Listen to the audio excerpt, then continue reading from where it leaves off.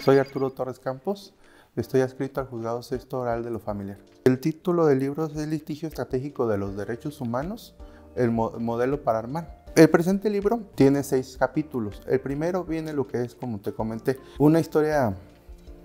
mínima de lo que fue la reforma del 2011, en donde se está velando ya ahora por el Estado mexicano lo que es la, la protección a esos grupos vulnerables, así como la erradicación de la, este, de la violencia y el maltrato a las personas. Después viene lo que es el panorama del litigio estratégico, que viene siendo todo aquel contexto que viene siendo el derecho humano, la protección.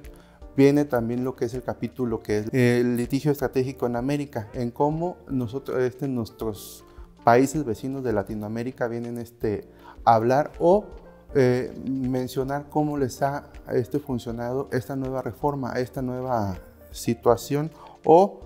cómo están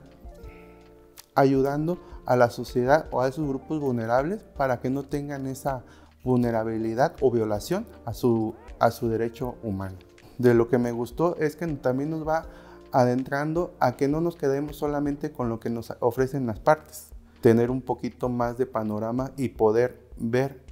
a esa persona no solo por el expediente, sino también del este de lo que se está aquejando y, por eso viene a nosotros. Es una nueva adquisición que se tiene de la biblioteca del Poder Judicial y los invito a que lo conozcan y conozcan las nuevas estas adquisiciones que también se tienen aquí en la,